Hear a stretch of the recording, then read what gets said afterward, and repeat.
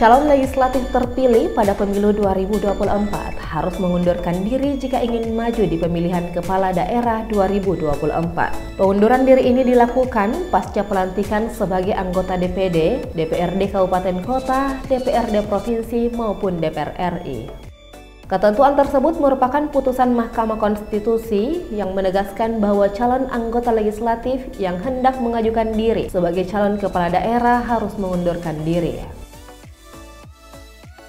Namun berdasarkan peraturan Komisi Pemilihan Umum nomor 2 tahun 2024 tentang tahapan dan jadwal pemilihan gubernur dan wakil gubernur, bupati dan wakil bupati serta wali kota dan wakil wali kota tahun 2024, diketahui tahapan pencalonan dimulai pada tanggal 27 hingga 29 Agustus, penetapan pasangan calon kepala daerah pada 22 September dan tahapan pemilihan 27 November 2024. Sementara itu, pelantikan calon legislatif legislatif yang terpilih baru dilakukan pada Oktober 2024. Sehingga akan muncul calon legislatif terpilih belum dilantik tapi harus mengundurkan diri karena ikut pilkada. Tak hanya itu, penjabat kepala daerah juga harus mundur lima bulan sebelum pelaksanaan pilkada jika ingin ikut bertarung. Adapun kepala daerah yang mencalonkan diri di pilkada November 2024 hanya berstatus cuti.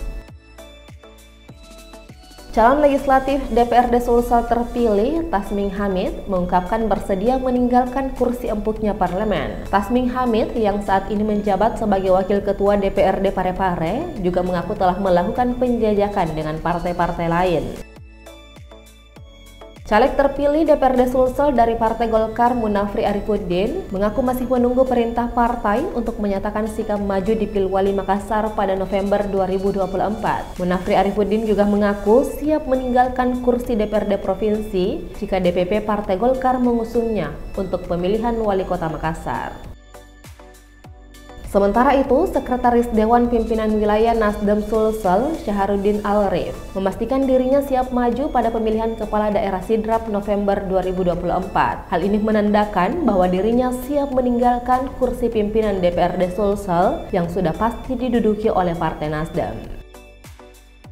Sementara itu, Koordinator Divisi Teknis Penyelenggara KPU Sulsel Ahmad Adiwijaya mengaku masih menunggu petunjuk teknis terkait mundur tidaknya caleg terpilih yang ingin maju di Pilkada 2024. Adiwijaya menyebut pihaknya pun belum dapat memastikan pengunduran diri untuk anggota legislatif yang mencalonkan diri dalam Pilkada berlaku atau tidak. Mengingat pada periode sebelumnya dapat mundur selama tahapan Pilkada berlangsung, sementara di periode ini harus menunggu petunjuk teknis terlebih dahulu.